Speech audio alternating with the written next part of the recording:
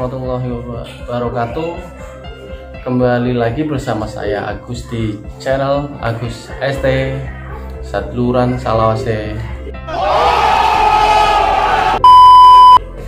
Kali ini saya akan membahas tentang pengapian yang pernah dipakai di mobil Corolla TX saya yaitu pengapian menggunakan CDI Shogun yang KW ya guys dan akhirnya saya membuat video ini karena CDI Shogun KW itu soak guys. Sudah tidak mampu lagi malah Denny di putaran bawah guys di idle stasioner lah. Jadi di waktu masalahnya itu waktu stasioner itu dia nggak mau dan starter susah. Tapi yang membuat saya senang itu di putaran atasnya itu masih tetap sama meskipun soal guys masalahnya hanya di starter susah karena pengapiannya itu berantakan apabila platina itu tidak bergerak cepat dia itu berantakan guys. Dia kadang nyala kadang mati. Tapi kalau platinanya itu bergerak cepat itu dia normal guys. Jadi saya akan me, yang membuat video ini minusnya itu memakai yang KW itu CD punya itu soak tidak mampu. Dan direkomendasikan memakai yang ori. Karena harga yang ori lumayan mahal. 650 di daerah saya. Jadi sementara saya pakai pengapian konvensional yang sebelumnya lagi guys dan untuk uh, apa siapa tahu nanti ada rezeki nanti saya beri belikan yang orinya guys. Karena saya merasakan itu sama platina yang biasa dan memakai modul itu jauh berbeda lah sangat beda sangat berbeda. Sama mema saya mempunyai Delco yang udah CDI punya kijang itu juga masih tarikan atasnya bawah atasnya itu masih enakan di CD Shogun guys. Karena saya memakai yang KW jadi tidak tahan lama ya guys. Tetapi masalahnya itu hanya di putaran stasioner dan di starternya. Waktu di starter dia itu seperti nguji seperti pengapian itu berantakan guys. Dan waktu di putaran tasnya itu tetap sama tidak ada perbedaannya meskipun dia soak guys mari kita lihat. Ikuti terus channel Agus ST dan yang belum like dan subscribe ditunggu ya guys. Karena like dan subscribe anda itu sangat berharga buat kemajuan channel ini. Dan saya berterima kasih kepada semua subscriber dan para pemirsa yang sudah menonton video ini mendukung channel ini agar terus maju. Mari kita lihat videonya. Kita coba di bawah ini. Apa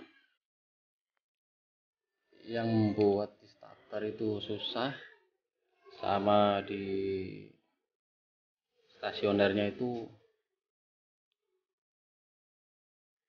nggak mau nyala kadang nyala kadang mati. Dan di starter itu berat. Jadi masalahnya di sini guys. CDI nya soak guys. Untuk rangkaiannya masih bagus ya kalau dia rusak itu kalau rangkaiannya rusak dia itu digerakkan cepat itu dia itu sama sekali nggak mau nyala dan ini masih nyala masih bagus. Terima kasih untuk teman saya yang Fadlan Fadlan Sah dan atas arahan beliau saya merakitnya di Toyota Corolla DX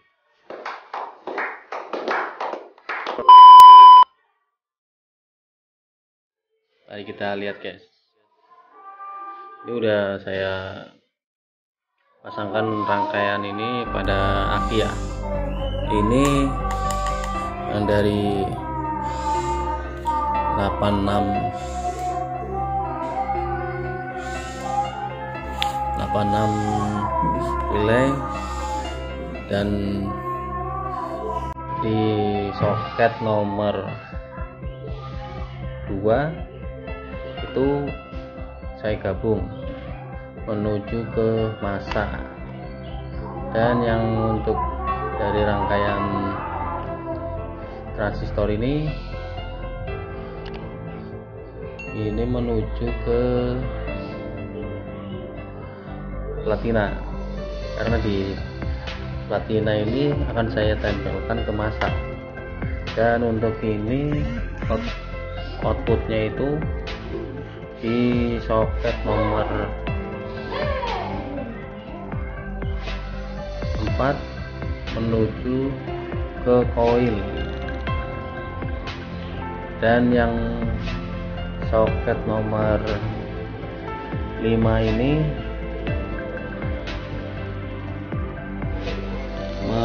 menuju ke plus aki. Bersamaan dengan rangkaian jika saya gabung dengan rangkaian transistornya mari kita tes ya guys. Oke, ibaratkan saja ini platina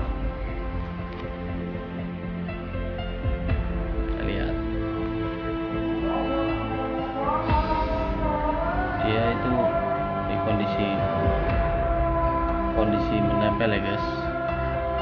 Ya harusnya putus nyambung putus nyambung.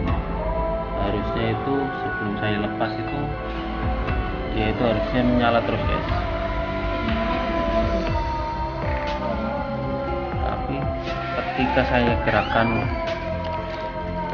seperti ini dia normal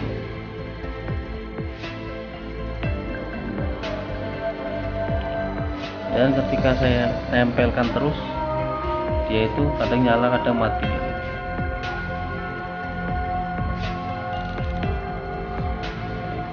Harusnya dia itu menyala terus guys sebelum saya lepas dari arus negatif.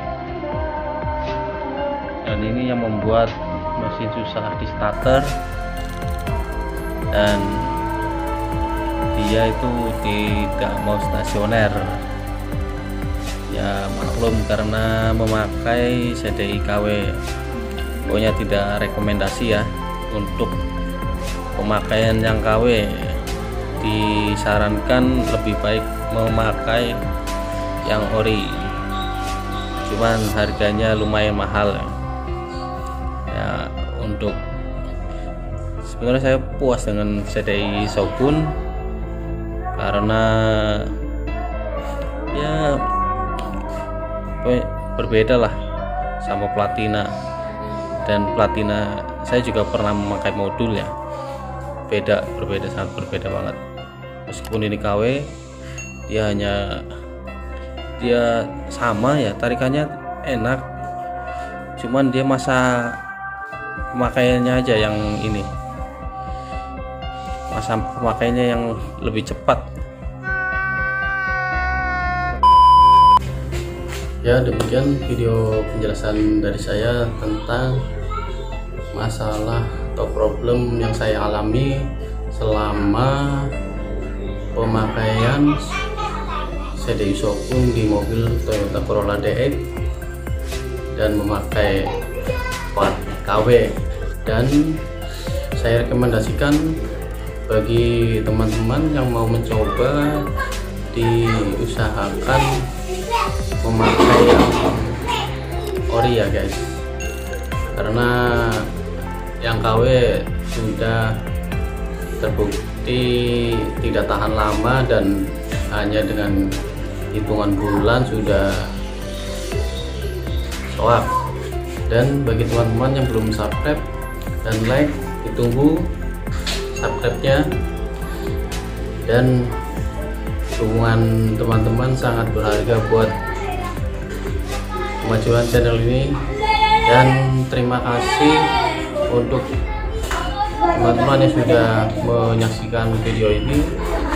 Dan saya mengucapkan mohon maaf apabila ada kesalahan kata-kata dan tidak bisa menjelaskan secara lebih detail. Akhir kata saya ucapkan wassalamualaikum warahmatullahi wabarakatuh